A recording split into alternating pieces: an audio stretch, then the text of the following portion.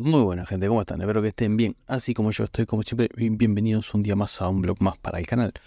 Hoy quiero hablar de Tron a Liberty. Eh, la beta, alfa o como quieran llamarlo, lo que fue la alfa anterior o la beta anterior de abril 2024. Fue algo, no fue algo nada desastroso, fue algo muy bueno, muy interesante.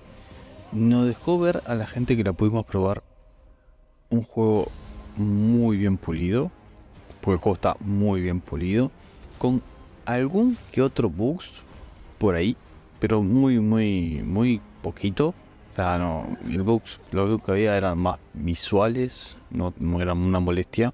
Tampoco eran em, algo que te entorpeciera el juego. Así que estaba bien. El juego está muy, muy bien pulido.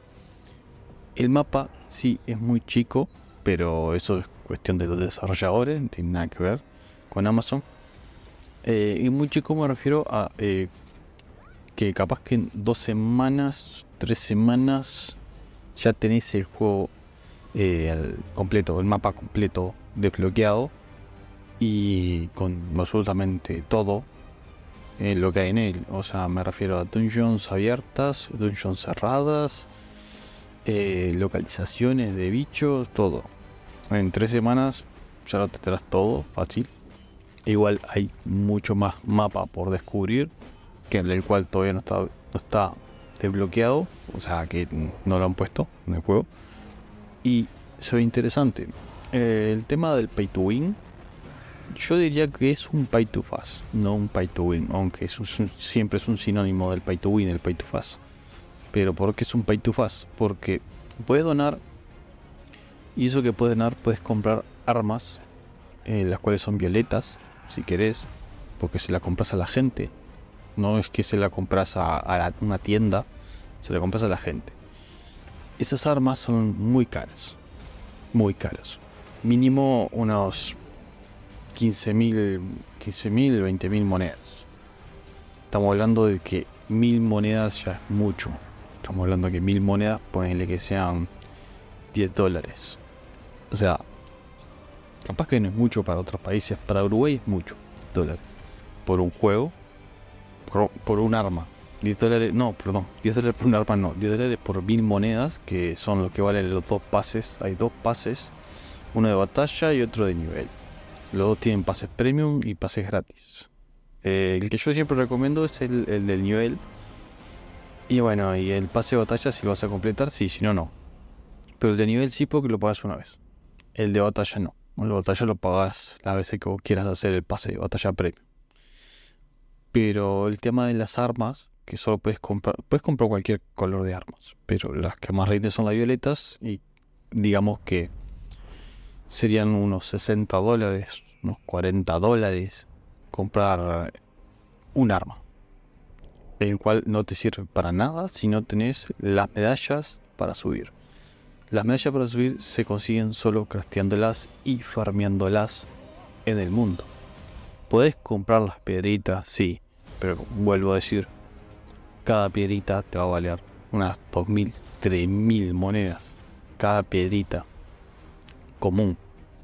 Cada cual de esa piedrita tenés que evolucionarla a violeta, que va a pasar por varias evoluciones, o sea, de común a raro de raro a. En fin, de, de, gris a azul, de, azul a, de gris a verde, de verde a azul y de azul a violeta. O sea.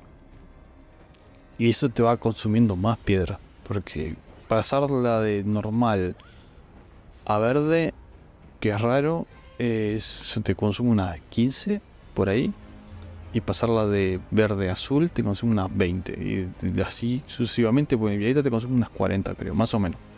No me acuerdo bien, pero entre unas. Más o menos entre 15 y 40 estaba más o menos el promedio de evolución de las cosas.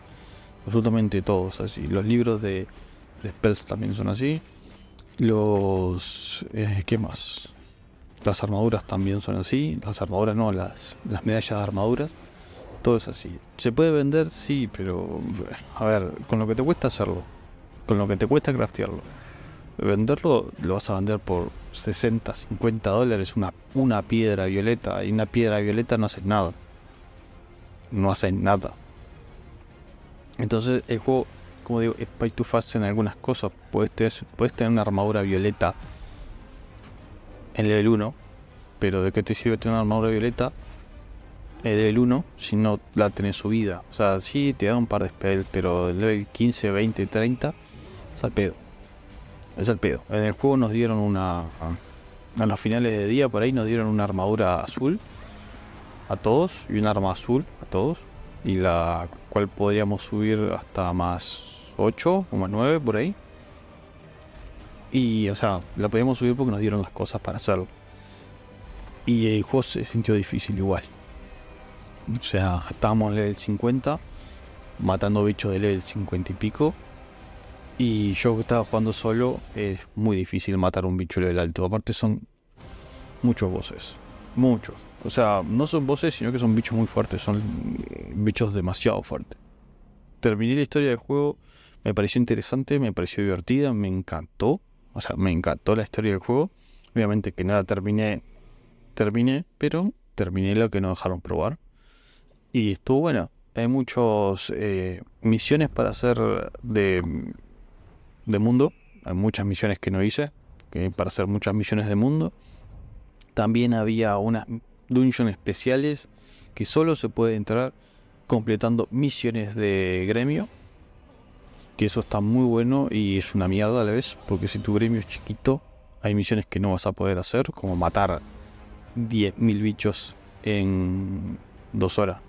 Dos horas, sí. Eran dos horas o tres horas más o menos. Pero son 10.000 bichos. Cada uno tendría que matar en tres horas eh, mil bichos y ser 10 personas. Y es complicado. Porque no tenés la casa automática. Que es algo que sacaron. Sacaron todo lo que es automático. Todo lo que era automático lo sacaron. No hay nada automático ahora. Todo tenés que hacerlo manual. O sea que todas las casas son manuales. Y no. No está tan bueno. El tema del oro. Eh, el oro común que se consigue. mm, Te sirve para comprar pociones y para craftear cosas. Y subir de level las cosas. Pero no. No es mucho. Digamos. No esperes mucho porque no, no, no es nada. Eso no es absolutamente nada. Si preguntan por qué no pongo imágenes del juego, es porque no se puede. Eh, en teoría no se puede mostrar nada del juego. Sí, que el juego ya salió y que la gente... Sí, bueno, eh, no, no puedo, se puede mostrar. Por lo menos si estamos hablando del servidor eh, occidentales y latinos y lo que vos quieras. Los orientales sí, pero nosotros no podemos mostrar nada del juego supuestamente por un acuerdo legal y todas esas mierdas y me pueden tirar videos. Así que no. Eh, ya les mostraremos en su momento en directo cuando salga el juego, que no se sabe cuándo. En teoría hay fecha para el segundo trimestre, era. En fin, tienen fecha, no, el tercer trimestre, tienen fecha hasta septiembre para sacar el juego, por lo que dijo NCSoft. O sea, hasta septiembre.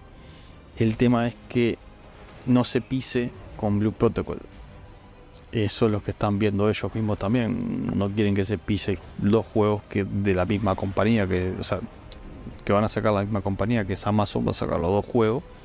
Y no quieren que se pise. El tema es que Blue Protocol eh, ya casi está pronto. En realidad creo que ya estaba pronto para ser lanzado. Supuestamente iba a haber una beta dentro de poco, pero tal, no importa. Acá estamos hablando de Tron Liberty. Y otros puntos fuertes del juego es que no hay pantallas de carga. O sea, eh, hay muy, muy, muy pocas pantallas de carga. Digamos que cuando entras en una dungeon, la pantalla de carga, no sé, te durará 4 o 5. Poner que durará 10 segundos como máximo. Como máximo. Y. Sí, como máximo. Eso depende de la PC.